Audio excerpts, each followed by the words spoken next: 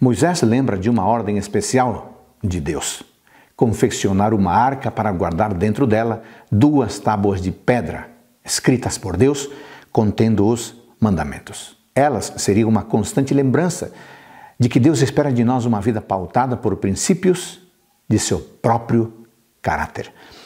Após este episódio, Arão faleceu e foi sepultado em Mosera.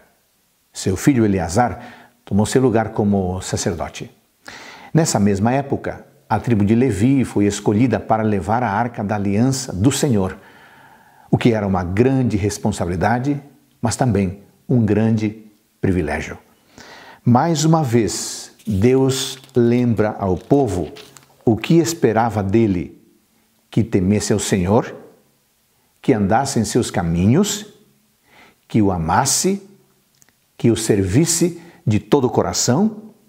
Além disso, que guardasse seus mandamentos e seus estatutos. Ao final do capítulo, Deus, faz um resumo de seu caráter. Ele é poderoso, temível, não faz acepção de pessoas, não aceita suborno, faz justiça ao órfão e à viúva e também ele ama o estrangeiro.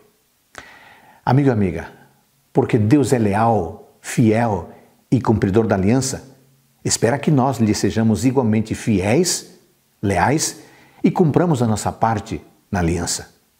E não precisamos fazer isso com as nossas forças, e sim com a força que Ele nos dá. Que o Pai Celestial abençoe você.